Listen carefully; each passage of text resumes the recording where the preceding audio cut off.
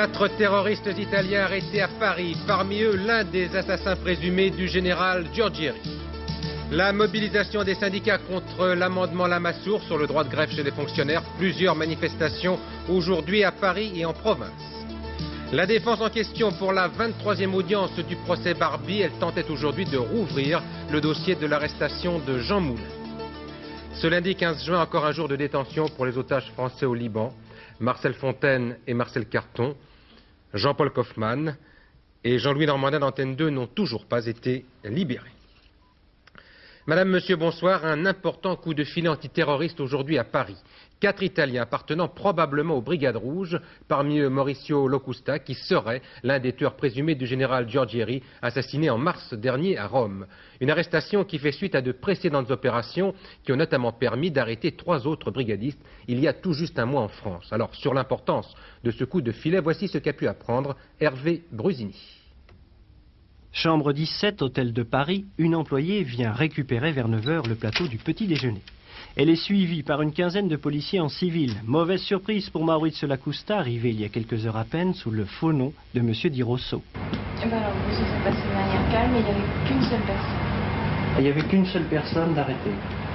Oui, mais le coup de filet des renseignements généraux n'est pas terminé. Trois personnes qui vivaient juste à côté de ce commissariat sont interpellées à leur tour. Deux femmes et un homme, tous italiens, tous porteurs de faux papiers, tous installés en France depuis plusieurs mois. Selon les enquêteurs, ces trois personnes pouvaient assurer le soutien logistique, l'accueil de Maurizio Locusta. Locusta, activement recherché en Italie depuis l'assassinat du général Giorgieri. Pour les spécialistes de l'antiterrorisme, il est très certainement l'un des deux hommes qui ont abattu en mars dernier le directeur des armements aéronautiques et spatiaux, le général Giorgieri, homologue italien du général Audran. La revendication était tombée presque aussitôt à l'époque. UCC, Union des communistes combattants, un groupe issu des Brigades Rouges. Mauricio Locusta en est peut-être le chef. Des documents saisis à Rome dans une cache attesteraient ce rôle de premier plan. En février dernier, les troupes de Locusta avaient également signé l'attaque d'un fourgon postal. Deux policiers tués, une véritable déclaration de guerre adressée aux autorités italiennes. Depuis, la collaboration européenne a fonctionné, deux membres de l'UCC arrêtés en Espagne, aujourd'hui le chef présumé appréhendé à Paris. Pour les terroristes italiens, les bases de repli se font rares. Justement, à propos de cette coopération, un commentaire du ministre de l'Intérieur français, M. Pasqua, qui est en Corse pour trois jours. Pour lui, c'est le résultat, effectivement, de la collaboration entre les différentes polices européennes. Il a dit tout à l'heure. Bien évident que dans le domaine de la lutte contre le terrorisme, la coopération internationale est décisive. Il y a entre la France et l'Italie, comme entre la France et l'Allemagne, comme entre la France et l'Angleterre, une coopération active. Ça veut dire qu'on ne se contente pas d'échanger des renseignements, mais qu'il y a des contacts permanents entre nos services, et que cela nous a permis effectivement de mettre hors d'état de nuire un certain nombre de gens. Et désormais, d'ailleurs, cette coopération active se manifeste dès les, les premiers temps des enquêtes, par l'échange de, de membres de nos services. La France était La donc, rapidité dans ce domaine est capitale. euh, La France, excusez-moi, était donc une base de repli pour les terroristes italiens? Ah ça, il y a longtemps que je dis que la France est devenue une base de repris pour les terroristes. Je dirais pas du monde entier, mais enfin pour beaucoup de terroristes. Mais maintenant, les terroristes savent que la France ne leur sera plus aussi tolérante. Droit d'asile, oui. Droit à organiser la révolution ou des complots contre des pays amis ou des assassinats, non. Le ministre de l'Intérieur qui devait aussi aujourd'hui affirmer toujours en Corse que la police connaissait les plastiqueurs qui sévissent dans l'île et qu'elle les arrêterait quand elle le déciderait. Euh, Par ailleurs, il a qualifié ces mêmes terroristes en Corse de xénophobes, racistes et totalitaires. Des arrêts de travail d'une heure dans la fonction publique aujourd'hui à l'appel de la CFDT et de la FEN et des autonomes, des manifestations à Paris et en province à l'appel de ces mêmes syndicats et puis une journée d'action jeudi prochain à l'appel cette fois de la CGT. C'est la riposte des syndicats à la limitation du droit de grève des fonctionnaires, ce que l'on appelle dorénavant l'amendement Lamassoure, avec deux faits nouveaux aujourd'hui. D'abord la rupture des négociations avec les contrôleurs aériens et puis cette affirmation du ministre de la fonction publique, Hervé de Charette, pas question de renoncer à cet amendement. Sur le climat social aujourd'hui, voici Geneviève Moll. Petite manifestation cet après-midi à Paris à l'appel de la CFDT, de la FEN, de la Fédération autonome des fonctionnaires et de la section Force ouvrière des finances. Environ un millier de personnes ont défilé des Invalides à Matignon. Ça n'est pas la grande foule aujourd'hui, hein, tout de même. C'est une réaction militante et je crois que c'est normal. C'est normal. Quand euh, vous touchez à, un principe, à un principe et avec des méthodes qui sont vraiment déplorables, qui sont indignes euh, du respect des, des, règles républicaines habituelles. Non-respect du syndicat, non-respect du Parlement. Au départ, les gens se disent c'est une question de principe. Et il leur faut un certain temps pour se rendre compte de la gravité. Les manifestations de province, comme ici à Lille ou à Lyon, n'ont pas non plus mobilisé les foules. De la même manière, les arrêts de travail dans la fonction publique ont été assez peu nombreux. Pourtant, Hervé de Charette, le ministre délégué à la fonction publique, n'a pas caché à Télématin que les dispositions de l'amendement Lamassoure, qui ne concernent actuellement que les fonctionnaires, pourraient être étendues par le Sénat aux entreprises comme l'EDF ou la SNCF. C'est vrai que le texte actuel euh, de l'amendement Lamassoure ne porte que sur l'administration au sens strict et ne porte pas sur les services publics. Nous verrons ce qui se passera au Sénat. Bah, suite au conflit de décembre-janvier, la direction avait eu la tentative euh, de rediscuter euh, de cette application de loi. toutes les fédérations s'y sont opposées. Et aujourd'hui, c'est pareil, nous nous y opposons. De leur côté, les contrôleurs aériens ont annoncé qu'ils poursuivraient leur grève de deux heures chaque jour jusqu'à ce que leur administration applique les nouvelles dispositions. Après, ils aviseront. En attendant, ils ont repoussé les propositions faites par leur ministre lors des négociations du 9 juin. Dernier événement de la journée, la réponse de Jacques Chirac à la lettre qu'Edmond Maire lui a adressée vendredi. Il n'entre pas dans les intentions du gouvernement de remettre en cause le droit de grève. Bien, Gérard Leclerc, avec cette lettre, apparemment, Jacques Chirac a mis, on peut dire en quelque sorte, la pédale douce dans cette affaire. Oui, absolument. Et cela d'autant que Jacques Chirac a emporté la première manche. À l'évidence, salariés et syndicats n'ont pas su se mobiliser contre le fameux amendement Lamassoure. Le gouvernement avait choisi le bon thème, les grèves, surtout en période de crise, dans la fonction où le secteur public ne sont jamais très populaires, car les usagers en font les frais. Il avait choisi également le bon moment. La, combativité des salariés est au plus bas, sauf pour la sécurité sociale. Les vacances sont toutes proches et les syndicats toujours divisés. Alors de ce fait, beaucoup dans la majorité sont tentés de pousser l'avantage. Ce soir, il paraît acquis que le Parlement va effectivement élargir les retenues de salaire des grévistes à l'ensemble des services publics. De même, le ministre des Transports, Jacques Doufiac, pourrait annoncer demain des mesures à l'encontre des aiguilleurs du ciel. Mais les plus durs voudraient aller encore plus loin et faire adopter un texte de Jean-Pierre Fourcade qui réglemente et limite le droit de grève et il institue notamment un service minimum dans le secteur public. Là, Jacques Chirac a mis ce soir le holà. C'est le sens de sa lettre à Edmond Maire quand il écrit qu'il n'entre pas dans les intentions du gouvernement de remettre en cause le droit essentiel de la grève. Deux raisons. Certains ministres, comme Philippe Seguin, estiment qu'on est déjà allé trop loin et qu'il sera difficile de rétablir la confiance avec les syndicats, avec les fonctionnaires. Et puis, à trop tirer sur la corde, on risquerait de la casser en clair, de provoquer cette fois une véritable riposte de certaines catégories, comme les cheminots par exemple, et perdre ainsi le bénéfice politique de l'opération d'aujourd'hui, perdre donc la seconde manche. Le régime du droit de grève dans la fonction publique nourrit bien souvent, vous le savez, le débat politique, que ce soit chez nous ou ailleurs, à l'occasion de grands mouvements comme celui, par exemple, en ce moment, des aiguilleurs du ciel. Il est donc toujours intéressant d'aller voir chez nos voisins comment ce problème est appréhendé. Premier exemple ce soir, la Grande-Bretagne de Margaret Thatcher. De Londres, la correspondance d'Alain Cancès. Comme dans toutes les démocraties occidentales, le droit de grève est un droit reconnu et légal en Grande-Bretagne. Une condition cependant la grève doit avoir été décidée par un vote majoritaire des syndiqués. Il est illégal pour un syndicat d'appeler à la grève avant que ce vote soit intervenu. A l'inverse, les retenues de salaire sont strictement proportionnelles à la durée de la grève. Une heure de grève, une heure de salaire en moins, quatre heures de grève, quatre heures de salaire en moins. Ces dispositions s'appliquent aussi bien au secteur public qu'au secteur privé. Sur un point, Mme Thatcher a l'intention d'appliquer plus strictement la législation d'ores et déjà en vigueur en Grande-Bretagne. Elle entend faire respecter le droit à la liberté du travail. Les non-grévistes auront le droit d'aller travailler, même si, comme cela s'est déjà produit lors de la récente grève des ouvriers du livre, il faut utiliser la force publique pour passer les piquets de grève. Second problème, le plus sérieux. De nombreuses entreprises britanniques vivent sous le régime du close shop. Il faut être syndiqué pour pouvoir y travailler. En clair, il faut respecter les consignes du syndicat, y compris les ordres de grève, pour pouvoir continuer à y être employé. Madame Thatcher souhaite mettre fin à cette pratique au nom de la liberté individuelle. En Grande-Bretagne, on s'attend que ce problème soit dans les mois qui viennent le prétexte d'affrontement entre le pouvoir politique conservateur et les syndicats.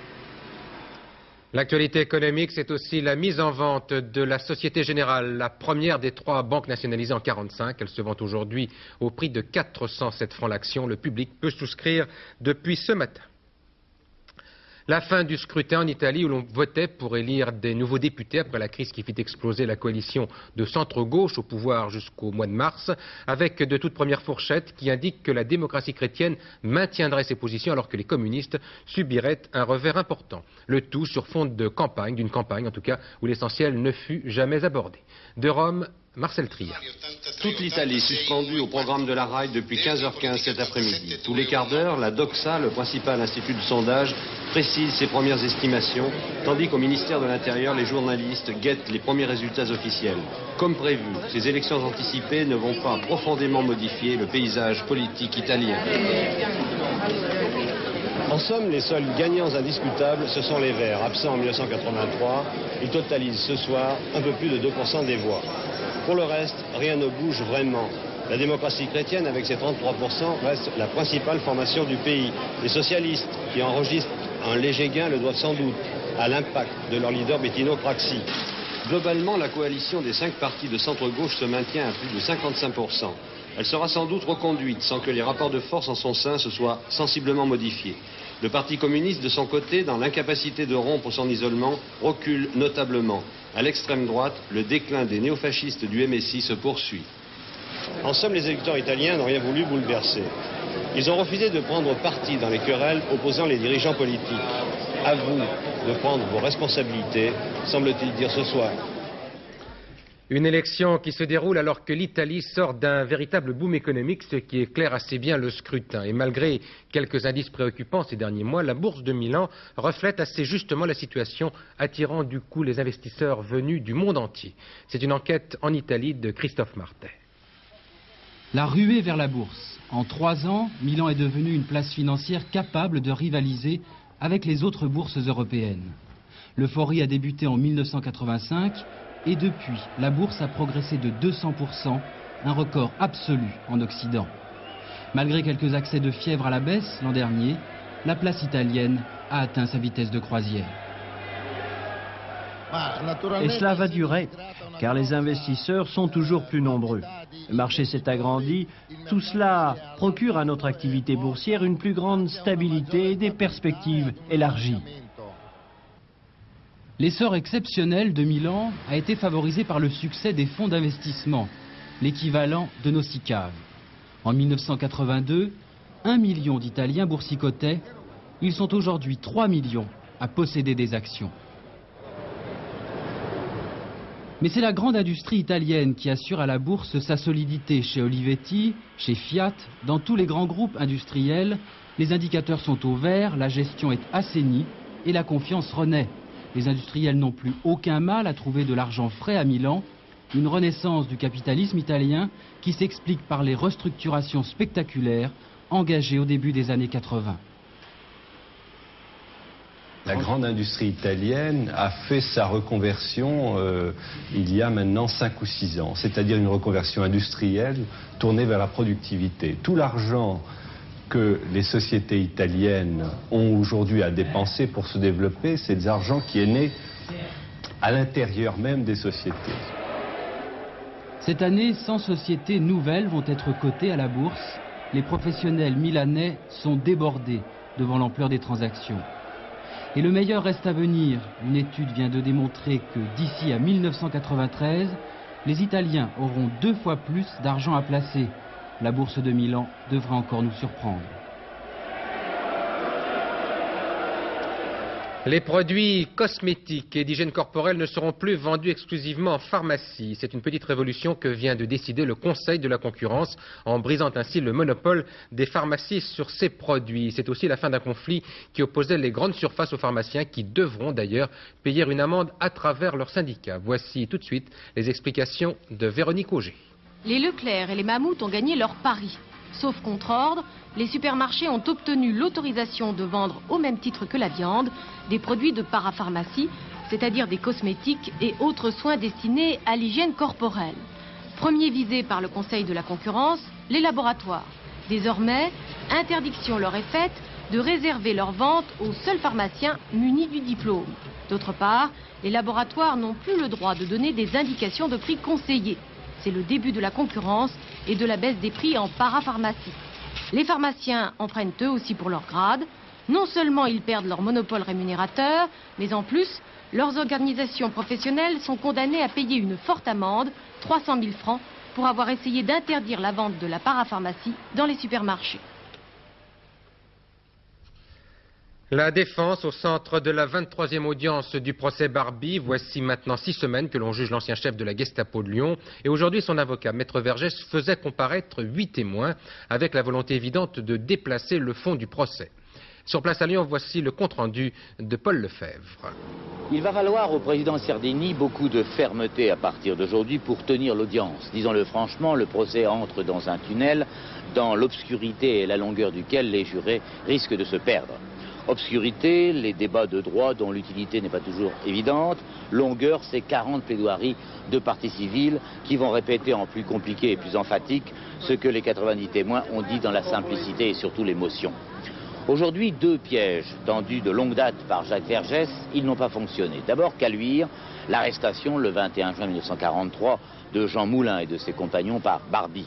Le moyen pour Jacques Vergès de dire, voyez comme Barbie a été bien aidé par le climat de rivalité de la résistance. Un témoin, un survivant, Raymond Aubrac, grand résistant, est cité à la barre, mais d'abord la cour d'assises n'est pas saisie de ces faits, n'a pas jugé cela. Ensuite, une information vient d'être ouverte sur Caluire pour crime contre l'humanité, donc on doit attendre la fin de l'instruction pour en parler. Résultat, zéro. Second piège, la guerre d'Algérie et les actes de torture commis par certains Français. Vieux cheval de bataille de Vergès, qui veut dire aux jurés, voyez-vous, nous les Français, on n'est pas si blancs que cela, alors soyez indulgents. Mais quelqu'un rappelle que la loi d'amnistie, conséquence des accords d'Évian, a effacé toutes ces atrocités, les françaises aussi bien que les algériennes, et elles se valaient, sans doute. Un nouveau sursis pour le matin dont la liquidation a été repoussée de 24 heures, mais le personnel du journal espère obtenir mieux encore en bénéficiant d'un délai de plusieurs jours pour tenter de trouver une solution, c'est-à-dire pour échafauder un montage financier avec de nouveaux partenaires. Ce sont nos proches voisins. Nous en avons une image qui en fait un mélange de banque, de chocolaterie et de gruyère. La Suisse est à deux pas et nous la connaissons mal. Et eh bien ce soir, dans Caméra 2, Michel Honorin vous propose d'en découvrir un aspect assez peu connu. La Confédération helvétique abrite l'une des meilleures armées du monde. Mais elle le fait à sa façon. Voici tout de suite une idée de cette enquête. Pendant la Deuxième Guerre mondiale, la Suisse est passée très près de l'occupation. Depuis, elle se méfie. En 1940, elle n'était ni prête ni équipée pour résister à l'offensive allemande. Il aurait suffi qu'Hitler claque du doigt et la Wehrmacht n'aurait certainement pas mis plus d'une journée pour camper à Berne. Les vieux généraux suisses se souviennent de l'arrogance de l'attaché militaire allemand qui leur recommanda d'ouvrir les frontières et d'accueillir pacifiquement les troupes vert de gris de l'époque. Personne ne passera par ici, lui répondit le chef d'état-major, Jacob Hubert. Mais ces mêmes généraux savent qu'aujourd'hui, on ne leur demandera pas leur avis, et c'est pourquoi ils se fient davantage à leur scénario catastrophe plutôt qu'à leur statut de neutralité. Comme les Suisses sont célèbres pour leur camouflage bancaire, ils sont devenus, ce qui se sait moins, les rois du camouflage de leur armée.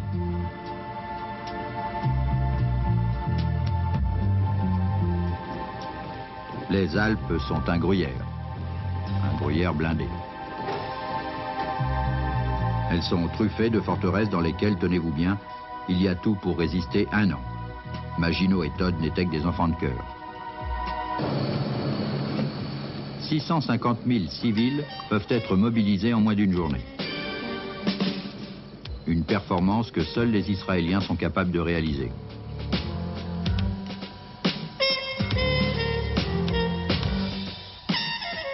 « 650 000 soldats, c'est-à-dire un habitant sur 10.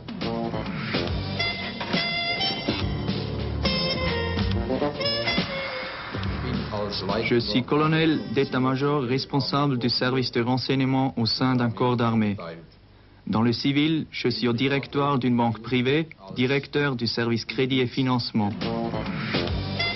Bref, la Suisse n'a pas d'armée, c'est une armée.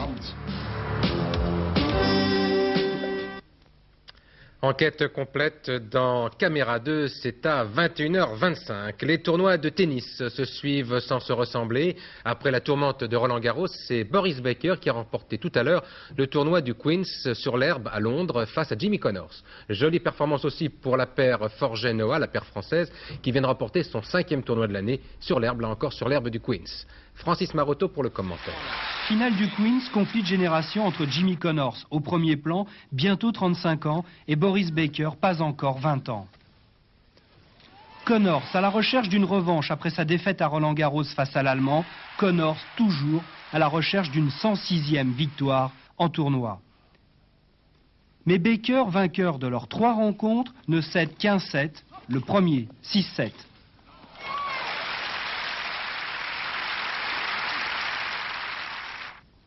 Alors Connors monte, mais Becker démonte, ou plutôt déborde.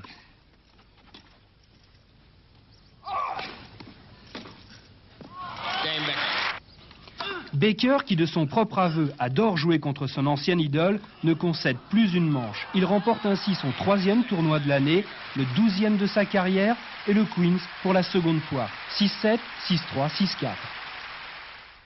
Et si nous parlions peinture maintenant, car vous le savez peut-être, on met les bouchées doubles à Ajaccio en Corse pour achever la restauration d'un bien extraordinaire musée, le musée Fèche. L'ouverture en est prévue pour l'année 1990 et pour calmer les appétits, le Louvre à Paris vous offre déjà de bien agréables coupes fins avec quelques-uns des plus beaux primitifs italiens ayant appartenu au cardinal Fèche. Un collectionneur peu ordinaire, comme nous l'explique Pierre Champetier. Le cardinal aimait les images pieuses. Après la messe, il courait les brocs. Un beau jour à Rome, la chance lui tomba du ciel. D'abord ce buffet, puis ce bahut, lui aussi recouvert de toiles peintes. Notre cardinal avait eu du nez. Dieu soit loué, c'était le Saint Jérôme de Léonard de Vinci.